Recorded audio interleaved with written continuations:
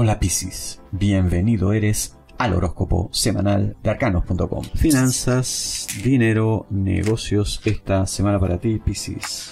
Vienen cambios drásticos, radicales en las finanzas. Pero no temas, no te me asustes. Estos cambios no son para que te perjudiques. Nada malo te va a pasar. Por el contrario, hay crecimiento, avance, nuevas situaciones que resultan infinitamente superiores a lo anterior, al pasado. No temas entonces a formar parte de estas nuevas corrientes, porque no vas a estar solo. Esto será algo de muchos. Contarás entonces con ayuda, con casuística, para investigar, para contrastar con tu realidad. Siéntete seguro entonces. Trabajo dependiente, profesión esta semana para ti, Piscis tienes que manejar mejor los plazos en el trabajo. Hay gente que siente que estás dando largas, estás extendiendo demasiado el momento de entregar resultados, estás reteniendo trabajo, no facilitando las cosas. Quizá tú no lo ves así. Por eso ocurre, porque para ti esto está bien. Crees que vas a una velocidad, a un ritmo adecuado, apropiado, pero no es así. Y estás muy cerca de meterte en severos problemas. Podrían hasta reemplazarte. Así de grave está la cosa. Entérate. Así que hay que agilizar.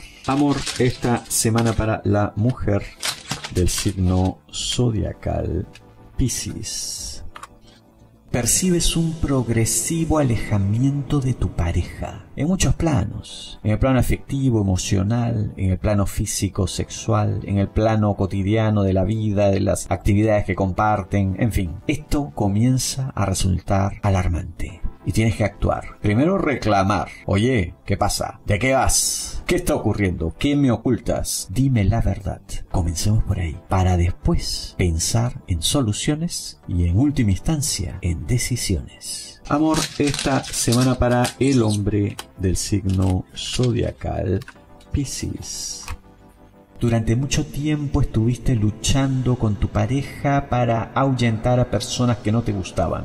Pero esta gente forma parte de su vida. Son presencias importantísimas para tu pareja. Sé que no gusta verlo así, pero estuvieron antes que tú. Tú llegaste después. Esta gente ya estaba ahí forman parte de su vida, su mundo, su pasado, su historia, sus recuerdos. ¿Qué derecho tienes tú a decirle esta gente no va más? A esta gente no la quiero. No te han hecho ningún mal. Que te caigan antipáticos, desagradables, que no te gusten, bueno, no estás obligado a eso tampoco, pero sí estás obligado a tener una actitud cordial con tu pareja, de respeto, de consideración por sus sentimientos, sus emociones, sus recuerdos. Máxime si nada malo hay. Piensa bien, no arruines una hermosa relación por esto que al final se puede resolver de manera tan fácil. Muchísimas gracias. Búscanos en Google.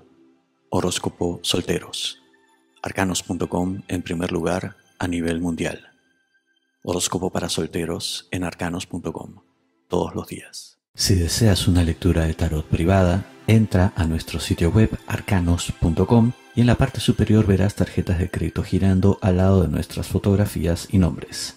Es donde debes ingresar.